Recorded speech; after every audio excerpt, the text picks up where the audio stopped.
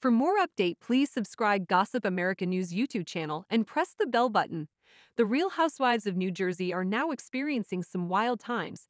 Following a recent altercation, Danielle Cabral and Jennifer Aydin are unable to film.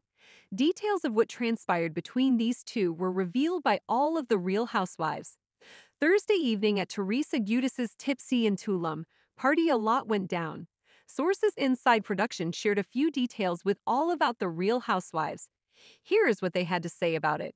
Jennifer Aydin and Danielle Cabral had a conversation prior to Teresa Giudice's party where they had some words with each other.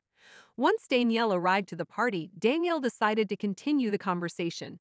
Jennifer ended up revealing something about Danielle that didn't make her look good and it set Danielle off, but no one was expecting for things to get physical. Danielle got into Jennifer's face and was screaming at her, but then Jennifer pushed her back. That wasn't all that happened at the RHONJ party, though. After that, Danielle grabbed a drink and threw it at Jennifer's face.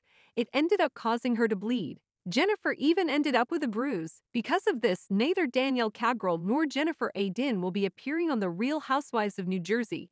Although they were meant to film, they were not permitted. Jennifer also unfollowed Danielle on social media.